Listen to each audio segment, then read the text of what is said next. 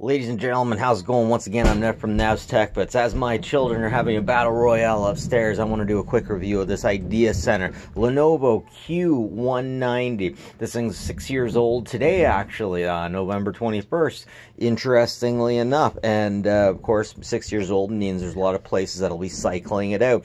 Lenovo does a bunch of work, and uh, a lot of government corporations, various corporations, only trust Dell and Lenovo. So at the six year point, it's time to turn them around, meaning these things are going to be hitting the secondary market soon. So let's take a look at what they got. We've got a lock on the very far side. We've got power Cat 5, um, uh, HDMI, four USB 2.0 ports, and a uh, VGA. Very nice. Anybody saying that we got to scrap the VGA isn't in IT in a corporation that's non-technical related. So here we go. Here it is. It came with a CD player directly sat upon.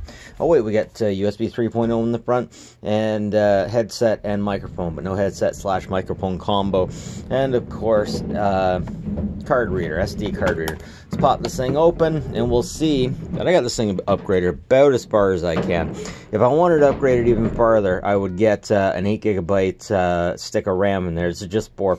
And of course, I got an SSD. The cost of SSD is so low, we might as well. And there we got the little fan. You'll also notice that I put some quarters as heat sinks on there because man, this thing gets really hot.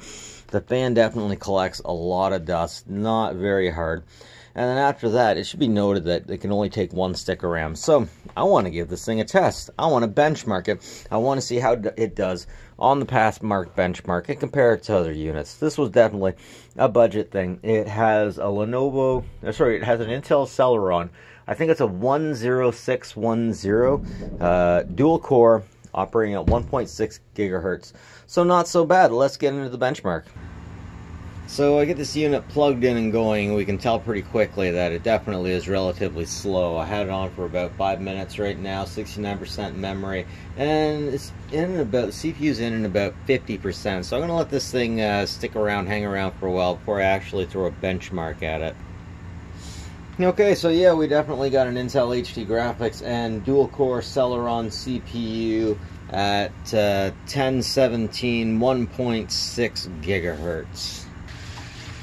Alright, so it's time for a benchmark. We got it loaded up, and as usual, I will come back to the benchmark when it has uh, the visuals.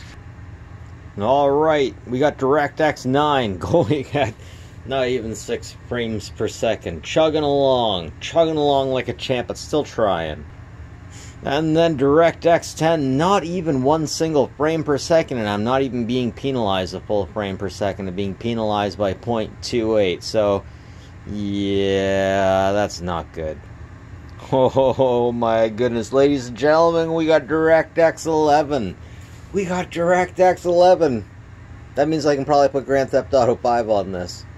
And it's actually running DirectX 11 better than it ran DirectX 9.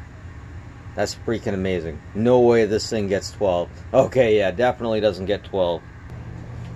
All right, so there's the benchmark, 539. That's uh, about twice as good as a uh, CQ2000, and that is basically a PC version of a netbook. And um, yeah, it's it is what it is. It's definitely not the best. I can't really upgrade this thing much further though, unfortunately. Would you use this kind of thing at home for an entertainment system? No, I wouldn't. I would use this thing for uh, something you attach to a TV in order to play video back on it, but that's about it. Now, right there, you can see how hot the thing's getting. It definitely looks like uh, the quarter I put on there is actually doing a bit of a nice job. The quarter seems like about the only place, the heat pipe in that quarter are the only place that uh, that are actually somewhat cool on that thing. Even the hard drive is much hotter. Wonder, huh? Meanwhile, it's it's hot to the touch. It definitely feels hotter. Anyways, ladies and gentlemen, that's it from me. Nev from Nev's Tech Bits. Like and subscribe if you like this stuff. And as always, folks, take care of each other, eh?